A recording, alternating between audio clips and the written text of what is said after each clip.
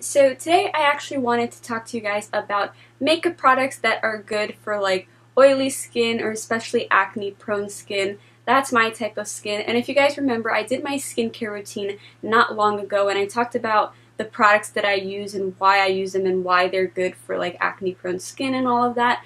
Um, but I mentioned in that video that I wanted to share some makeup products as well because I feel like that's really important. There's no point in like taking care of your skin um, with like skincare products, um, but not worrying about those things when you are applying your makeup. And I know there are people who are even afraid to use makeup because they think it will break them out. Um, or sometimes people get stuck in a cycle where like they'll use makeup that breaks them out, so then they use makeup to cover the breakouts, and then it just it's an ongoing cycle. Um, so I'm going to share some products that I have been using for a while and that don't break me out and I'll explain to you why. So if you did watch my skincare routine video then you might remember that I spoke about non-comedogenic products and basically those are products that won't clog your pores. My dermatologist told me that I can use whatever I want as long as it's non-comedogenic because that's what will break me out if my pores are clogged. Um, so I we were talking about skincare products when she mentioned this, but I was thinking about it and I'm like, what's the point of like taking care of my skin with all these skincare products, but then putting on a load of makeup and have that clog my pores? Um, obviously, if you clean it really well after, then sometimes you'll be okay, but I just feel like I break out so, so easily that I, I just wanted to find makeup products that would, would also help like to not clog my pores and you might think that that's impossible, but it's not. So the first thing you put on your face, obviously, when starting your makeup is a primer. So I feel like that's the most important thing.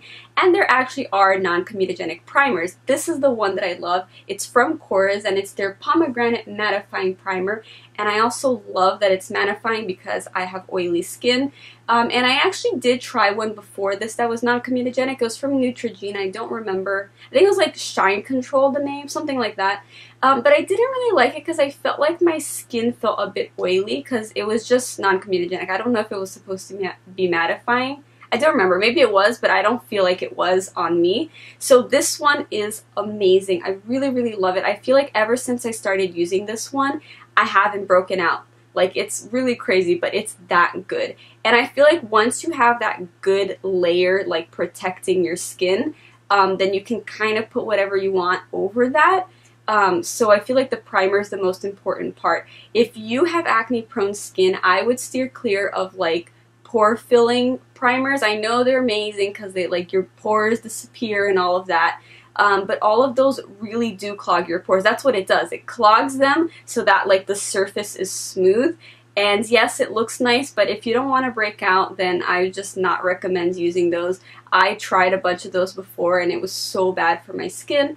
Um, so I would just recommend one like this. I, I mean, I would recommend this one in particular because I haven't tried that many other non-comedogenic ones, but I feel like as long as it's non-comedogenic um, and it's like for your skin type, like this one is for oily skin, um, then it should be fine. But yeah, I really, really love this one, and I feel like this is the most important step when doing your makeup if you don't want to break out. So speaking of primers, I just wanted to mention like an eye primer because I feel like if you have oily skin then the shadows tend to crease a lot. So this is one that I really like. It's from Too Faced and it's their Shadow Insurance and it says that it's 24 plus hour anti-crease eyeshadow primer. I have never had an eyeshadow for more than 24 hours on, um, but I do feel like this primer is really good. Although to be honest, I don't use it that much just because usually when I'm using my concealer, I just use that on my eyelids and I feel like it works really well. This is the MAC Studio Finish Concealer and I use this kind of like on little dark spots or just I don't know, any area where I feel like it needs a bit more coverage, I use this. It's a bit of a thick concealer, um, but I do really, really love it. And what I also really love about it is that it doesn't feel greasy on the skin. I feel like for someone who has oily skin, this works really well. Like, I can use just this and not put powder on top, and I feel like it still looks fine, although I am, like, in love with powder, so I'll always put powder all over. But I, if I wanted to, I could use this without putting powder on top. And yeah, I just think it looks really nice. It doesn't look greasy and it covers really, really well. And I don't know, for some reason, I just feel like it works really well as like a primer on my eyes because basically it's like the color of my skin. It has good coverage. so it'll cover all like those little veins or anything like that. And it also doesn't let my eyeshadow crease. So if you have oily skin and even maybe you might even already own this, try it as like an eye base because I feel like it works really, really well. So when it comes to foundation, I feel like you have a ton of options, especially if you've already put that primer that's kind of like protecting your skin from everything else you're putting on top. But the one that I really love to use is this one right here, and this is the L'Oreal True Match Foundation. And it's actually not like a mattifying foundation, which you might find weird because I have oily skin. But I don't really like when my skin looks way too matte like I feel like a lot of mattifying foundations just make it look kind of flat and I don't know, like almost like my skin's kind of dead looking.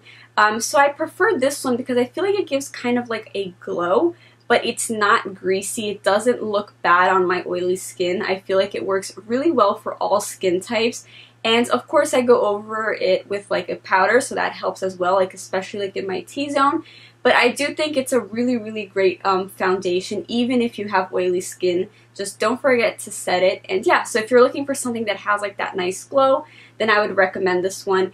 And this one has never broken me out, so I think it's a really, really great foundation. I've heard that the Maybelline like matte and poreless is also a really, really great one if you want like that matte look. Um, but I just, like as I said, I don't really like it. Um, and that one you just can tell more that you have foundation on, whereas this one I feel looks a bit more natural. So if you have oily skin, then obviously powder is like a super, super important step. I would not skip powder if you have oily skin. Um, a lot of people don't understand why their like makeup moves around so much, and a lot of the times it's because they haven't set it with the powder. And I cannot live with this little thing right here. This is the Rimmel Stay Matte Long Lasting Pressed Powder, and when this came into my life, it changed everything. Like, it's so amazing. And there is a translucent one, but I like to use the one that's like my skin color. And this really does make like my skin matte wherever I want it because as I said I do like for it to have a little bit of a glow so I will use it like on my forehead down my nose right here not too far back because I still want like that glow right here on my cheeks um, and then on my chin because that's a really oily part and this is so good. and These areas stay matte for so, so, so long. It's amazing. So if you have oily skin and you have not tried this, I highly recommend it, especially because it's like three or four bucks. Depends on where you get it. But yeah, this is amazing. Like if you have oily skin, this is probably like the top product that I recommend to you. So that's pretty much it for like the actual makeup products I wanted to share. Um, I feel like everything else that you use, it doesn't really matter. Like bronzers and blushes and like eyeshadow. Although eyeshadow, if you do have really oily eyelids, then I would maybe say to stay away from like creamy eyeshadows. Although I use it sometimes and it's fine if like I have a good primer underneath. Um, but yeah, so I feel like most of the other products, it doesn't really matter what you use. Um, but I wanted to mention this, and I use this as like a setting spray, and this is MAC Fix Plus. And the reason I wanted to mention this is because I feel like a lot of people with oily skin think they can't use this because it does make like your skin a bit more wet, a bit more glowy, and people that have oily skin know that like you're kind of like always afraid that you're looking oily. So they might stay away from this, but I just wanted to mention it because I use it and I love it because I feel like it makes like my foundation look a bit more natural. Because I use a lot of powder, I feel like it can look a bit cakey and once I spray this, I just feel like it just looks 10 times better.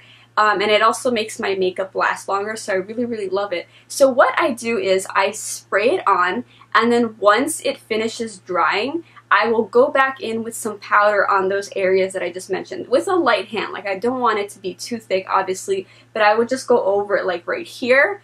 Um, and then it looks great. Like I feel like that works perfectly. So if you've been wanting to use this but you think you can't, then I would say to try it this way. Like just put your powder then spray it, and then once it's dry, just apply your powder a little bit more on the areas where you want to get rid of that shine. Um, so yeah, and then now I also just wanted to mention this, which I mentioned in my skincare routine video, but I just wanted to mention it again because I think it's really important. Um, when you remove your makeup, you want to make sure that you're removing it with something that is non-comedogenic.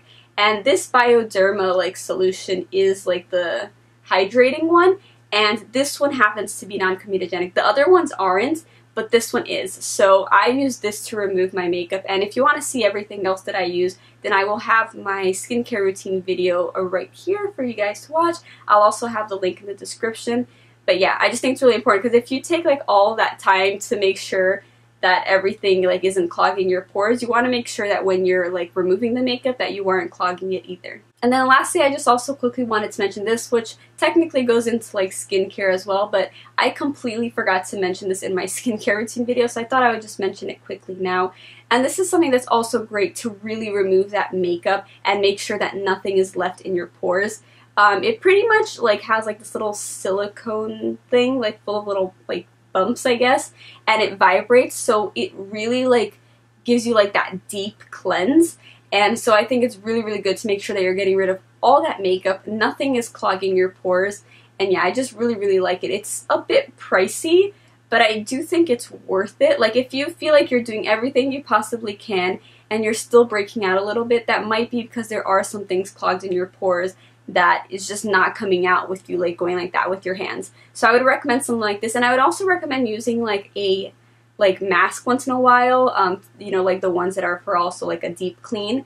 Um, I do that about like once a week, or at least I try sometimes like once every two weeks, but it is good to use it um, to just really make sure that you're cleaning everything out from your pores. So yeah, I think that's pretty much everything I wanted to share with you guys. Um, obviously, I'm always trying new products. If I come across new things that I feel like work really well for either oily skin or acne prone skin, then I will do an updated version eventually. But for now, these are the products that I have been using and loving and I feel like they're working really, really well. As I said, I haven't broken out in so long and I'm so happy about that. I mean, I do use like medication and stuff, which if you want to know more about, I spoke about that in my skincare routine video. Um, but yeah, I feel like I can use makeup like as much as I want now and it doesn't break me out, which is really awesome. Um, so yeah, if you guys enjoyed this video, please don't forget to give it a thumbs up and also don't forget to subscribe if you haven't already. And until next time, bye!